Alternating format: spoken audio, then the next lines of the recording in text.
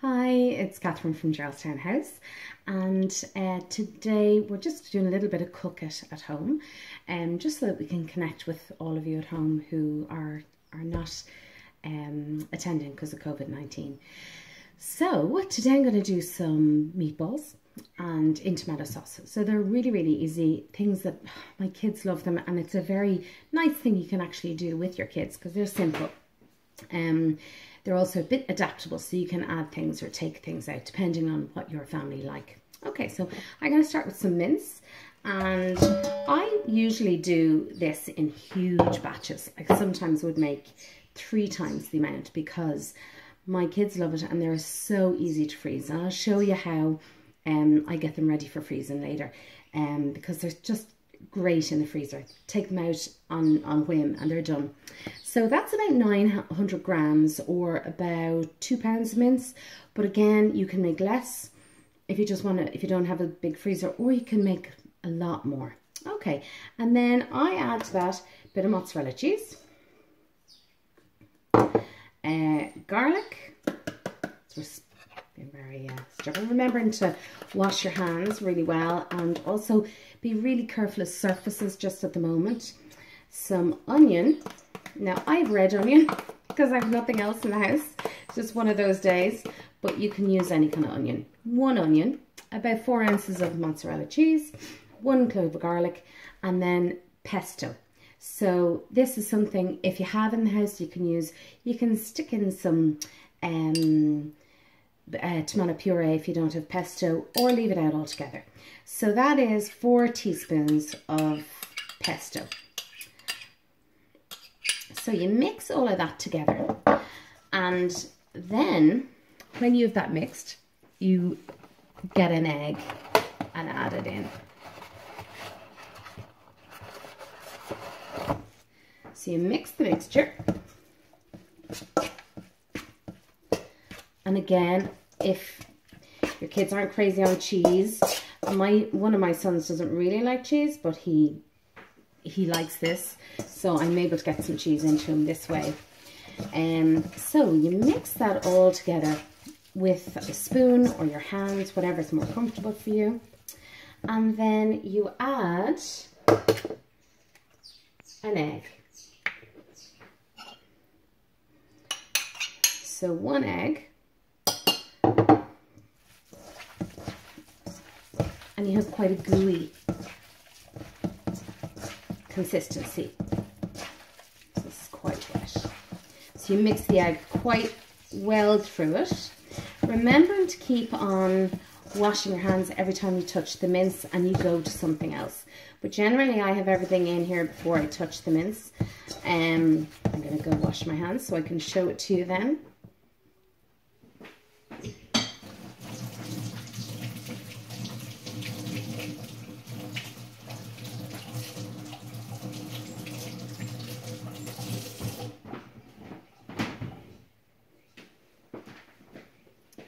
Okay. so your mixture should look like this. Okay. So very simple and I'm having technical problems today. There we are. So very simple and what you do next is you roll the balls into kind of small golf ball sizes. Okay, and I'll do that and get back to you. Okay, so you've come back and I've rolled all the meatballs up. Um, you should get about, I've, done half the amount so we can speed this up, but um, you should get about 20, 22 meatballs depending on how big you want them. So I have them kind of small.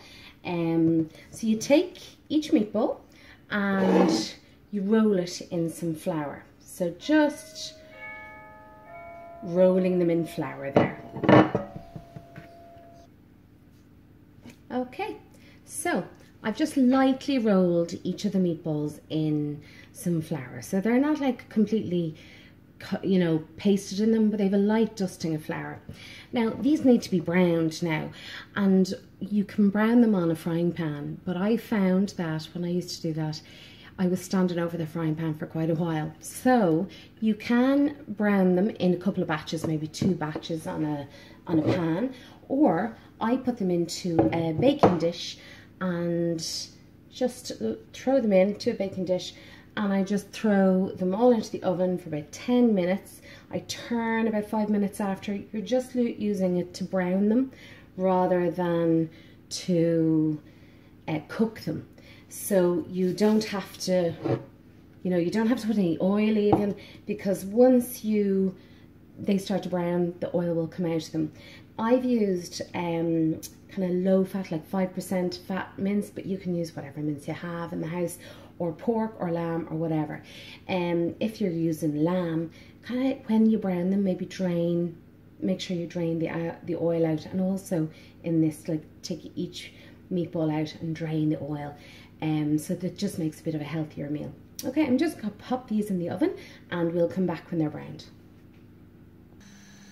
So while they're in the oven, just browning, um, I'm to make the tomato sauce. So you can make this ahead of time if you like, or while the, the meatballs are browning, or whatever time suits you.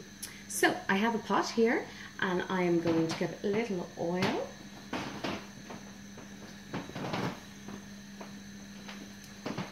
I heat the, the pot usually um, just for a few minutes and use about a teaspoon of oil. Don't need much. And just let that heat up. And this is, tomato sauce can be used for anything really. So I throw in my onion, one onion, one clove of garlic. Now you can add more garlic if you like. If you're, you know, you can add two or three cloves of garlic, whatever, whatever works for you. And then Today I'm going to use passata again because I don't have anything else in the house. And I'm going to use one big, uh, big thing of passata because we like it really, really saucy. But again, you don't have to have as much sauce. So if you don't have passata, you can use two tins of tomato and use that. So I'm just going to let this, uh, the onion and the garlic cook a little bit. I'm going to give a little stir. One moment.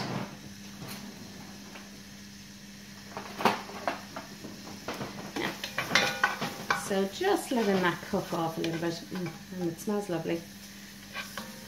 Keeping an eye on your meatballs, whatever way you do them. So you can, as I said, have it on the on the pan and do it in batches or like me, throw them in the oven. Okay? So you cook up your onions and, until they're a little bit soft. And a good way to do that is to add the lid. okay?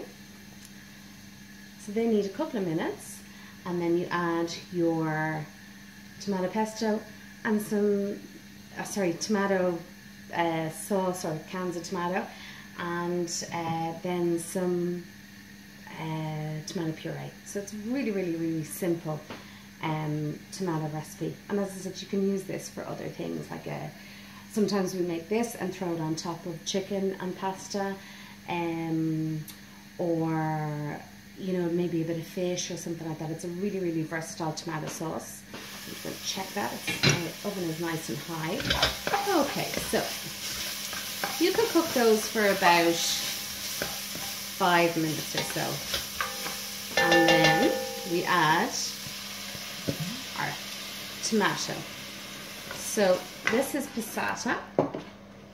What I always do with passata I hate waste, is I add a tiny little bit of water into the end of the, the jar, shake it up and I get every last scrap of the tomato.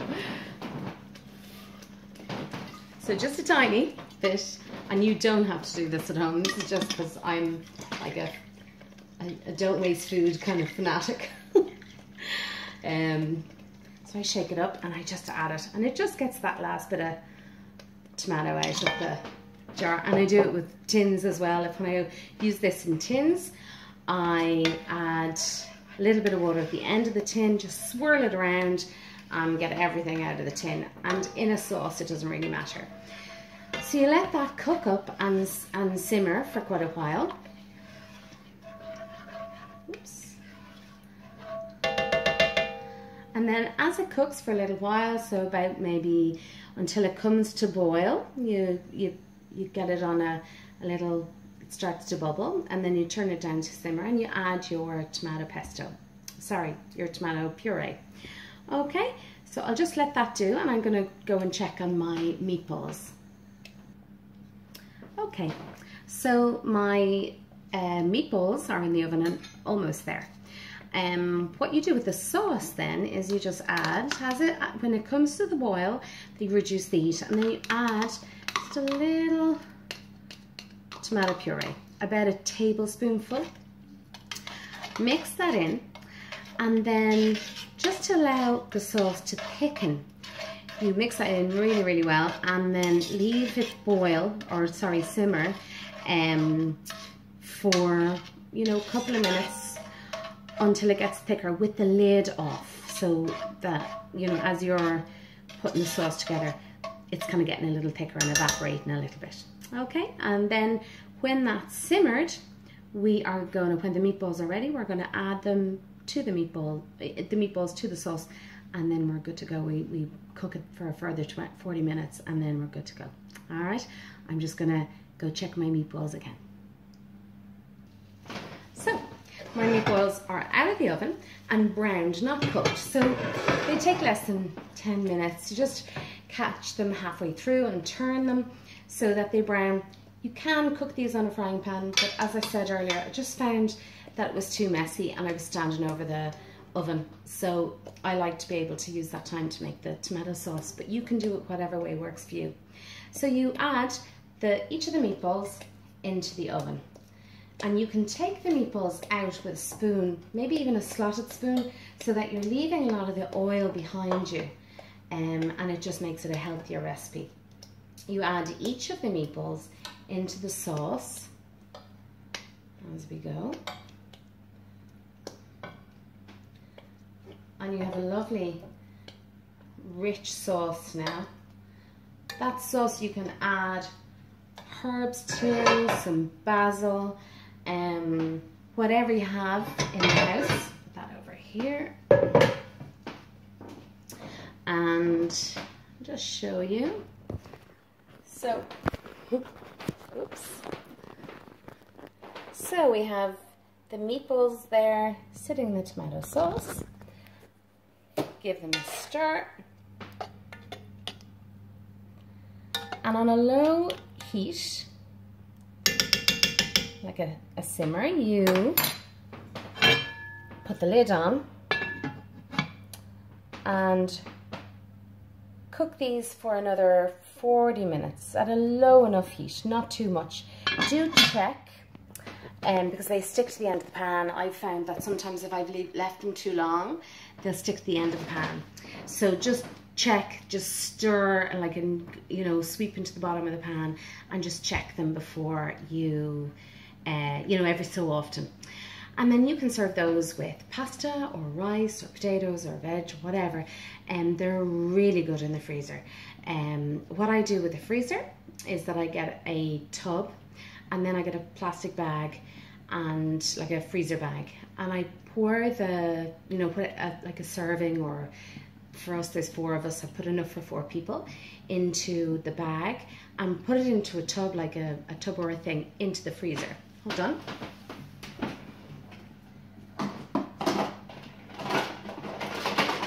Say something like that. And then I put that into the freezer so it holds the thing.